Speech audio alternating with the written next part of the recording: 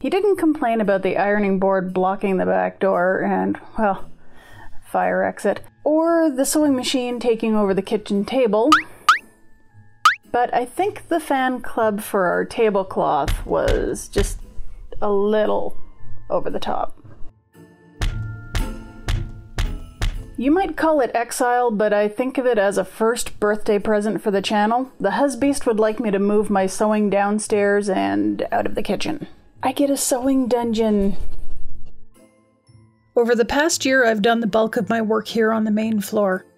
The light is erratic because of the southern exposure, and it's been known to get a bit warm in summer. Because of the light situation, a lot of my chatty bits, me talking with you directly, was done in my former office upstairs, in the room next to the husbeast's office, where he works. You know that whole comedy thing about filmmakers waiting for the perfect light and then throwing a fit when something derails the production during the five minutes when the sun reaches the absolute perfect place in the sky? Yeah, that was me facing down a hungry cat and a significant other who just wanted to get his job done for the day. It wasn't fair for any of us, except maybe the cat, who doesn't get a vote and thus takes her revenge in whatever form she can. And that's not even getting into the way my sewing took over the main floor.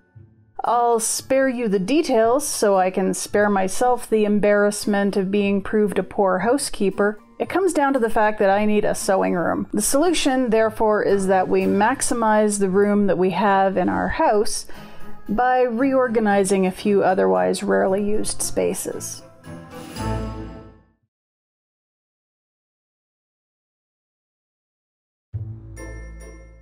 When we bought the house, the basement was finished by the previous owners with potential renters in mind.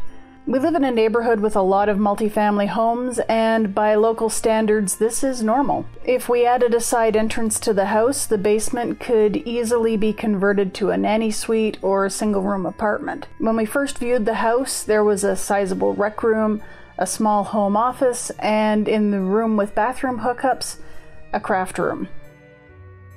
This is what it would look like as a suite?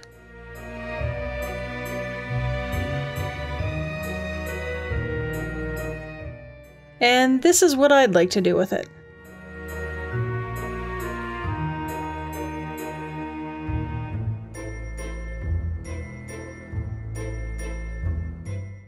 This is what we have to deal with. Now you know why I call it my sewing dungeon. It's pretty cluttered right now, and that's because I've moved everything from my old office on the second floor, which is once more a spare bedroom, to the basement. My desk is hanging out in the drafty area with the panel box, and the former bathroom slash craft room is our small home library. The shelving is going up to the husbeast's office, and my cube shelves will come down here to the less crafty library slash office. All these had to be sorted through before the library shelves, and the books we're keeping, could go up to the husbeast's office on the second floor.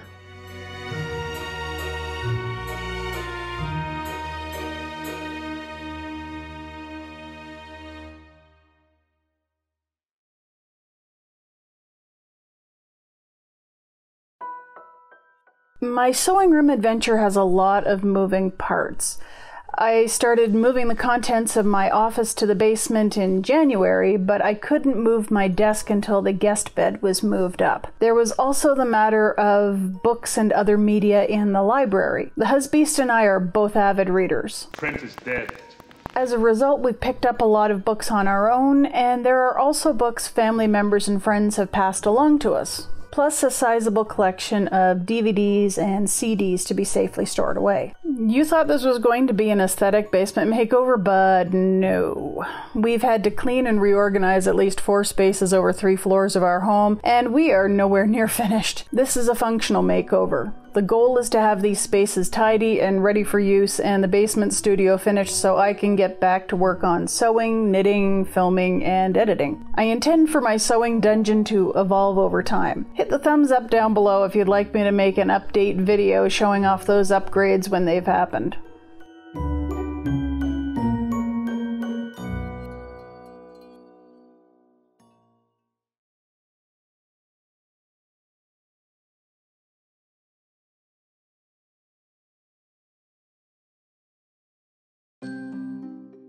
The house came with this reconditioned armoire, and we promptly filled it up with art supplies and anything else that needed a home. My job is to go through the contents and make it a craft supply closet again.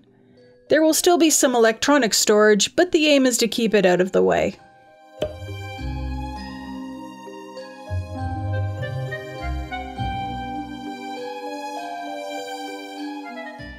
We're a lot farther along than we were. We have doors for this unit, but the screws for the hinges are missing, so until I can raid Dad's garage, I'll settle for a clean and organized space.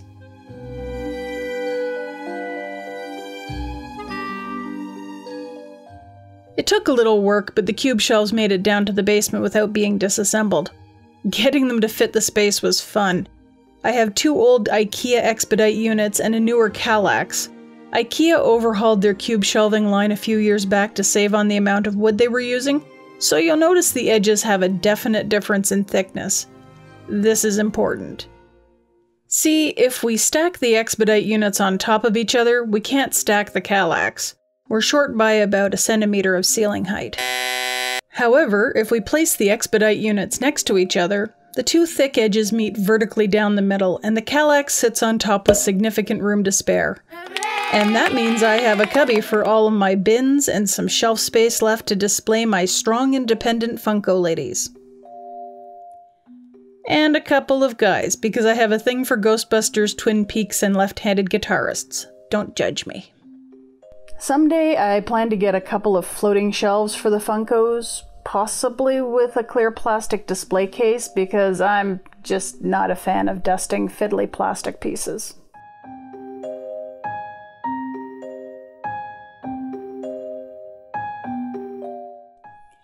I'm really quite surprised with how much space I've managed to reclaim in here, particularly around the recliner. I do still plan on live streaming knitting and other crafts, either here or on Twitch, so this will make a cozy place to sit back and drink a little tea while knitting and chatting with friends.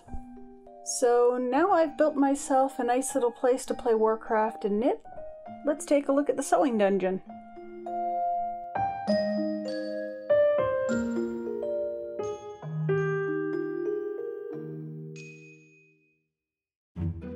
I can tell you right off the bat, this sewing space is going to evolve over time.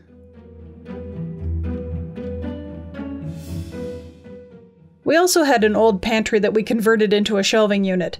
It, too, is missing doors. It makes a good place for overflow storage, particularly for my filming equipment.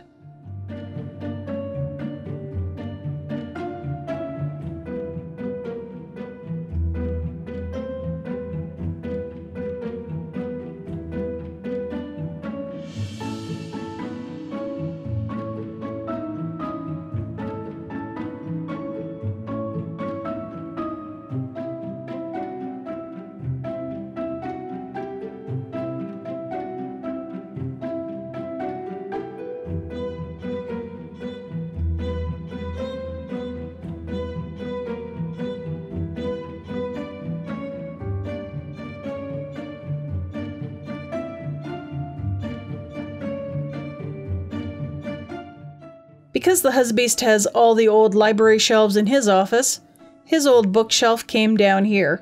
It makes a wonderful place for all my sewing, knitting, and crafting books. I've learned that a custom table was originally built for my sewing machine, and it will eventually find its way here. In the meantime, I'm using an old gate leg table that once served as my mother in law's sewing table. I salvaged my old fabric stash from the garage. Yes, the garage. My fabrics, none of which are terribly precious, are now making their way through the laundry. Once everything is sorted, I plan on consolidating as much as I can right here.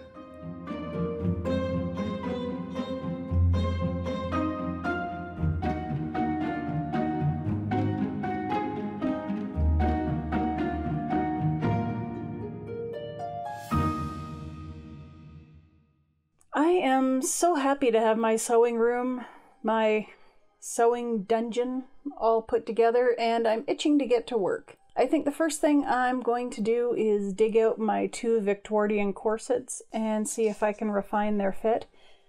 That way I can have a better idea of my own corseted measurements. Till then.